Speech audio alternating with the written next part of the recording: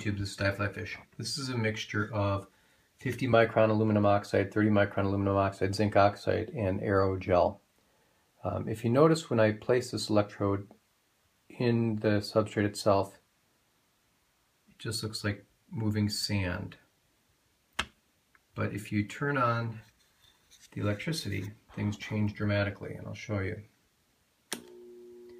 Physical displacement with electricity in a medium like this definitely makes a raised pattern come to the forefront.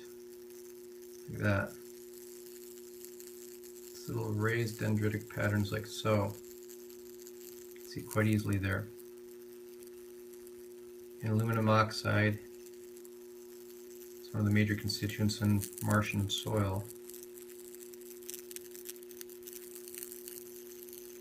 You can see the raised electrical dendritic effects like that.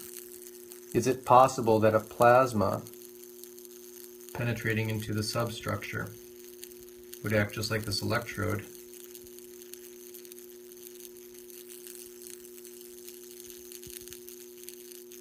to create the raised dendritic form that we're seeing?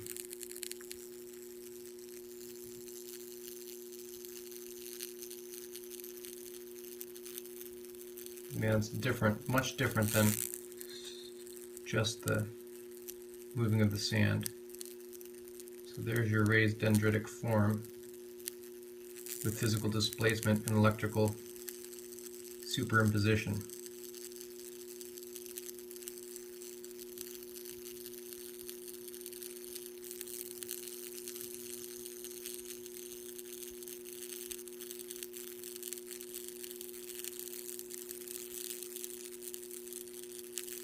Getting closer. Thanks for watching.